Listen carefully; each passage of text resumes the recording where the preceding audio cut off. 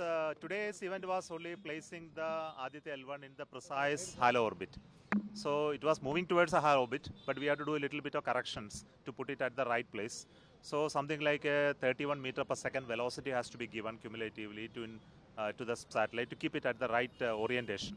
So basically, it's a halo orbit. It's an orbit which uh, moves around L1 point with a size of 6 lakh kilometer in one direction, uh, 2 plus lakh in one, another dimension, 3 1 lakh in 1 lakh kilometer in another dimension. So it formed like an egg.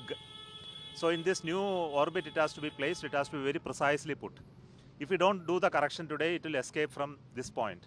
Okay, we will not allow it to escape if it did not happen. There are some contingencies, but I am only telling mathematically it can escape. So that has been very precisely done. Ultimately, what we achieved today is exact placement based on our measurement and very correct prediction of the velocity requirement. The computer decided to cut off at the accelerometer based cutoff has happened. So uh, right now it is at the in our calculation it is at the right place. But we are going to monitor for next few hours to see whether it is at the right place. Then if it is slightly drifted, we may have to do a little bit of correction, and we don't expect that to happen.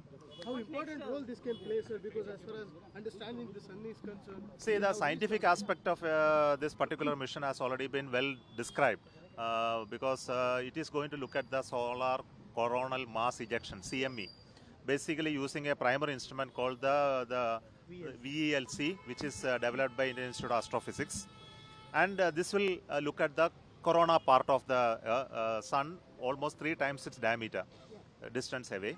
And uh, corroborating that there will be other measurements uh, which is again uh, by a payload called SUIT which is an which is going to look at the entire disk of the sun in ultraviolet in various frequency bands which is already images have been we have already put out in the website we also have particle measurements uh, in the what is coming out of the sun by the payload called the PAPA then we also have X-ray measurements, which is in low energy and high energy X-rays measurement.